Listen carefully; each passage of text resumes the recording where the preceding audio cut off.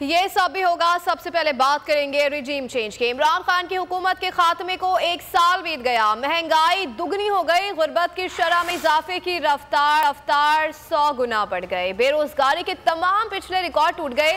आटे की लंबी कतारें मुल्क भर में गरीबों की इज़्ज़त नफ्स का मज़ाक उड़ा रही हैं। पेट्रोल की कीमत डबल हो चुकी है।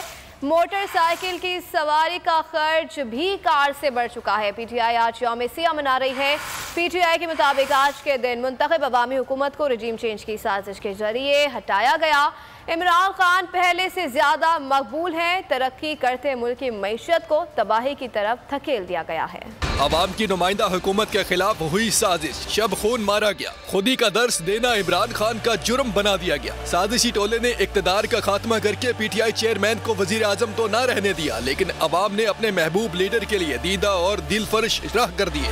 तान ने कौम को दोस्ती और गुलामी का फ़र्क बता दिया। कहा वो किसी के खिलाफ नहीं, लेकिन मुल्क की वफाद के नाम पर पाकिस्तान को रास्ते का पत्थर नहीं बनने देंगे। दिलों के फाते ने हम वतनों को बताया कि सुपर पावर के अहकाम और बेजा फरमाइशों को पूरा करने का दौर खत्म हो गया। अगर ये अमल जुर्म है तो बार बार किया जाएगा, लेकिन किसी कीमत पर इज़्ज़त नफ्स का सौदा नहीं किया जाएगा। उम्मत मुसलमा का तर्जमान हर मुहब वतन पाकिस्तानी के दिल में समा गया, आवाज़ पर छा गया। पी डी एम का झूठ कप्तान की आवाज़ हक के सामने टिक न सका। हर गुजरते दिन के साथ इमरान खान की मकबूलियत में इजाफा होता गया। कप्तान के दौरे इकतदार में उनके मुखालिफ रहने वाले भी उनकी आवाज़ पर लब्बैक कहने पर मजबूर हो गए। मुल्की तारीख का पसंदीदा तरीन लीडर होने का रिकॉर्ड कप्तान के हिस्से में आया। एक साल बीत गया, लेकिन शेर दिल रहनुमा की बातें आज भी उनके सपोर्टर्स की आँखें नम कर देती हैं। अगर आपको हमारी ये वीडियो पसंद आई है तो लाइक पर क्लिक कीजिए। तो नज़र आ रहा है सामने लिखा हुआ जुल्म मिटने के लिए। दो चीज़ों से मिटेगा भाई।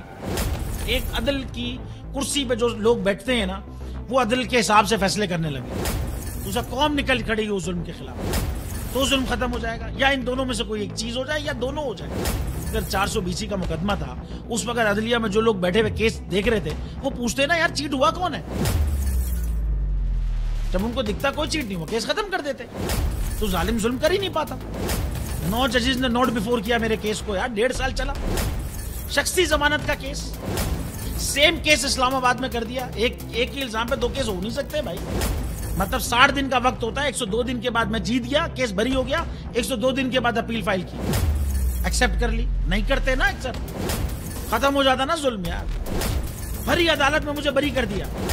फिर पता नहीं क्या हुआ, ढाई घंटे बाद का नोट बिफोर मैं नहीं सुनता ये केस खड़े रहते अपने फैसले मिट जाता जुल्म। अल्लाह ताला ने बिठाया इस कुर्सी, इन कुर्सियों पे इनको, यार, ये अल्लाह ताला की तरफ़ से फैसले करने हैं। तो या तो ये फैसले आएँगे, जुल्म मिट जाएगा, या कौम खड़ी हो जाएगी, जुल्म के खिलाफ। सुप्रीम कोर्ट के मंसूर अली शाह साहब जस्टिस एक ऑर्डर पास किया उनकी बेंच और उस ऑर्डर के अंदर उन्होंने बड़ा क्लियर बता दिया कि जी बरीत की जो दरखास्तें हैं वो कब कब लगेंगी। उसमें से एक वजह उन्होंने बताई कि जी जब कोई क्राइम ही ना हुआ हो तो बरी कर दें ताकि अदालतों पर बोझ ना रहे, वो केसेस चलते ना रहे। सुप्रीम कोर्ट ये मिसालें कब बनाएगा? ऐसे लोगों के खिलाफ जो इस तरह की एफ़ काट रहे हैं, वैसे ऑफिसर्स और ऐसे लोग जो इस तरह के केसेस को जजेस चला रहे हैं। रहमत का महीना आ गया है। बख्शिश का सफीना आ गया।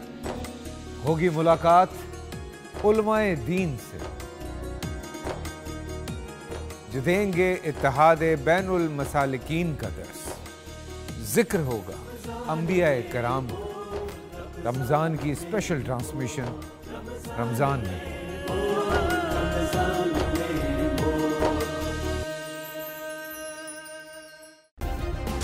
सब्सक्राइब करें और बेल दबाएँ ताकि कोई खबर रह न जाए।